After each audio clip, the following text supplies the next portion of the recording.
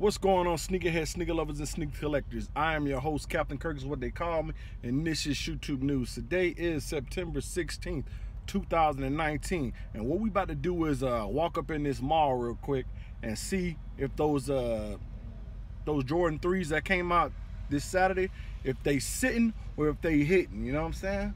Other than that, man, hey, if this is your first time watching me, feel free to uh, subscribe to the channel, drop a like, and as well as drop a comment. But we about to walk up in this mall and uh, see what these threes are all about. I'll see y'all in a bit. So here they go. Um, these are the Knicks threes that came out. They remind me of the um, True Blue threes, you know what I'm saying, minus the the Nike Air on the back. But other than that, man, nice shoe. The leather is okay. You know, I like those little orange hits. Uh, y'all see the inside of the tongue. It has, you know, 4-0. Well, let me turn it over so y'all. There you go. Y'all can read that a little bit better. But yeah, it's a pretty nice shoe. It's a pretty nice shoe. Not for me, but hey, it's a nice shoe. Um, other than that, man, we about to go check out something else and see what else they got up in the spot.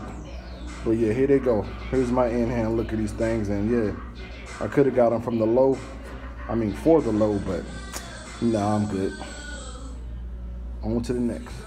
So here we go. We up in the other spot, and they got these things up in here, man. But I got something else for y'all to see. Shattered backboard mids. Shattered backboard mids. Good looking. You see that good old patent leather.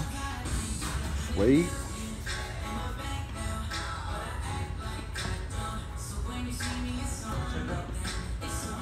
These are right. Only thing is, uh, oh, they ain't got no Jordan on the back of them? Okay. No Jordan on the back of them. But, um, we got some nubuck on there. A little bit of soft little nubuck. Ain't no brush back, but yeah.